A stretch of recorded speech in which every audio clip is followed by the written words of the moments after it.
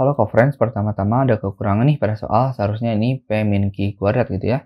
Oke, untuk mengerjakan soal ini, kita perlu ingat nih, jadi jika ada bentuk A kuadrat dikalikan B kuadrat, bentuknya itu bisa kita ubah menjadi A dikalikan B baru dikuadratkan gitu. Lalu, jika kita punya bentuk A kuadrat dikurangi B kuadrat, bentuknya bisa kita ubah menjadi A ditambah B dikalikan A dikurangi B.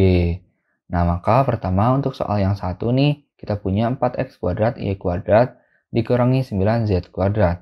Nah, bentuknya bisa kita ubah. Di sini 4 itu kan 2 kuadrat ya. Jadi 2 kuadrat dikalikan x kuadrat dikalikan y kuadrat dikurangi 9 itu 3 kuadrat. Jadi 3 kuadrat dikalikan z kuadrat. Nah, ini menggunakan konsep yang pertama ya. Bisa kita ubah bentuknya menjadi 2xy baru dikuadratkan itu. Jadi 2xy dikuadratkan dikurangi ini juga sama jadi 3z dikuadratkan. Nah, lalu kita gunakan yang kedua ini ya.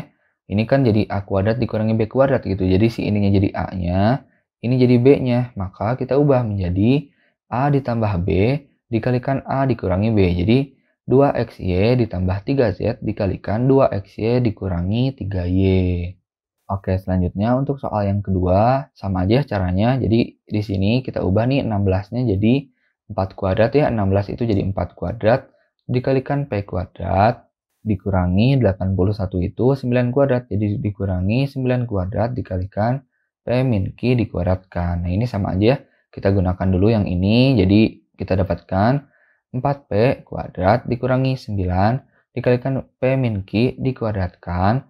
Nah ini sekarang kita gunakan yang A kuadrat min B kuadrat. Jadi ini jadi A-nya, ini jadi B-nya gitu. Maka kita dapatkan 4P ditambah 9 dikalikan P min Q dikali 4P dikurangi 9 dikalikan P min Q gitu. Oke. Okay? Nah, sekarang di sini 9-nya kita kalikan ya ke dalam. Jadi yang pertama 4P ini jadi ditambah 9 dikalikan P jadi 9P. 9 dikalikan min Q jadi min 9Q ya. Oke, selanjutnya di sini jadi 4P.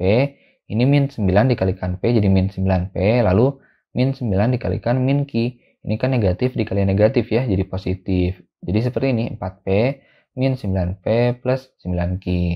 Nah, ini bisa kita jumlahkan nih, 4P ditambah 9P, ini 4P dikurangi 9P.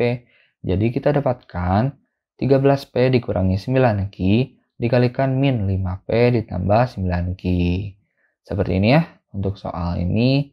Sekian pembahasan soal kali ini. Sampai jumpa di pembahasan soal berikutnya.